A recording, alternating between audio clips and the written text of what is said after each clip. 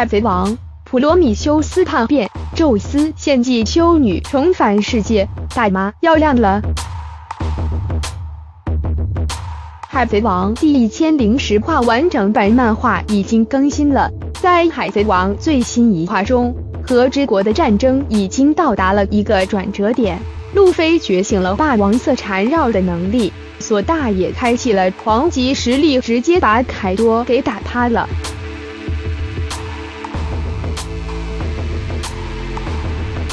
可以说形势大好，除了路飞和凯多的战斗以外，好像忽略了另一个四皇大妈。在最新一话中，还有一个非常值得我们注意的细节，那就是大妈的霍米兹普罗米修斯。在之前的剧情中，就在大家都以为被四大超新星联手打下了鬼岛的大妈。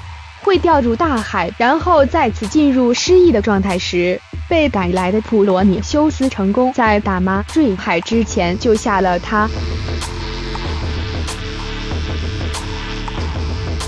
救下大妈之后，普罗米修斯的举动就有一些奇怪。他诋毁了同为霍米兹的宙斯，还想要大妈抛弃宙斯，建议大妈重新创造一个。而这时候。鬼岛上的基德和基拉看到天空上的一朵云有了很奇怪的变化。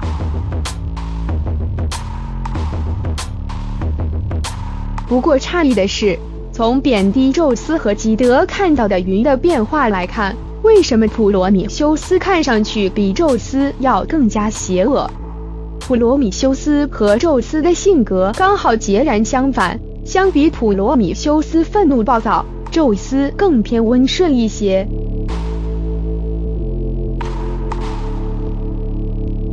难道说他本身不是大妈创造的？霍米兹是用混魂果实创造出来的生物，大家都知道，大妈一共有三个高级甚至有独立人格的霍米兹，分别是拿破仑、普罗米修斯和宙斯。为什么两个霍米兹的性格完全不同呢？这里我们不妨猜想一下，普罗米修斯是上一任灵魂果实能力者加尔默多者修女的奴仆，因为修女曾经制造了一团叫做潘多拉的火，长得和普罗米修斯一模一样。如果是这样的话，那么剧情就很清晰了。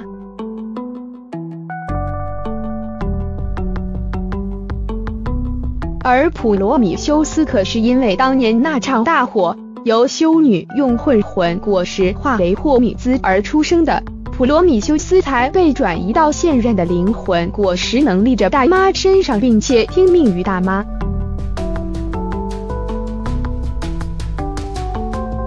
也就是说，修女没有死，普罗米斯修里面的灵魂不是大妈的。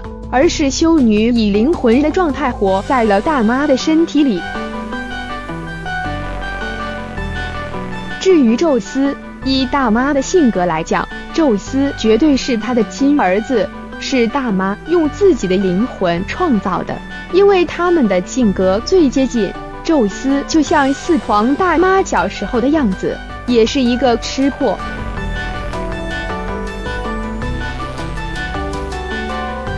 和普罗米修斯与拿破仑就不一定了，毕竟他们性格相差的太大了。普罗米修斯更像是作恶多端的修女形象。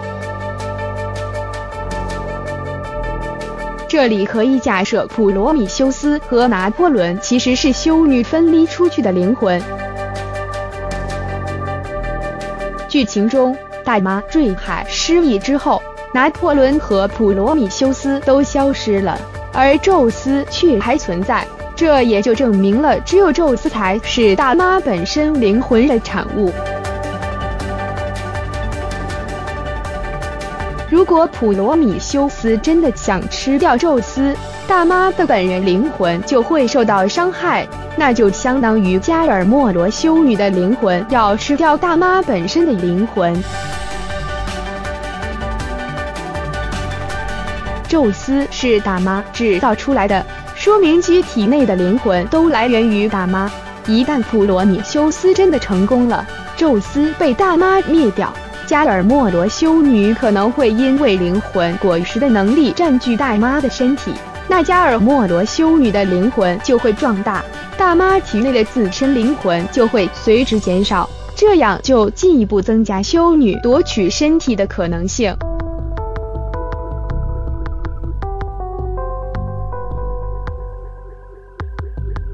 这也是为什么在最新一话中，普罗米修斯暗示大妈除掉宙斯，意思就是说修女很有可能会再次出现。究竟普罗米修斯是不是想吃掉宙斯？结果可能有两个：第一，修女复活，然后占据大妈的身体；第二，大妈用最后的理智阻止了消灭宙斯的意志，宙斯离开大妈，转而投靠娜美，路飞成功入住四皇。不过这只是个人猜测，那么你认为修女会不会重返世界呢？你喜欢这个视频吗？希望你能有一些放松和娱乐的时刻，立刻分享出去，让更多人知道吧，并且不要忘了留下一个喜欢，订阅我，再见。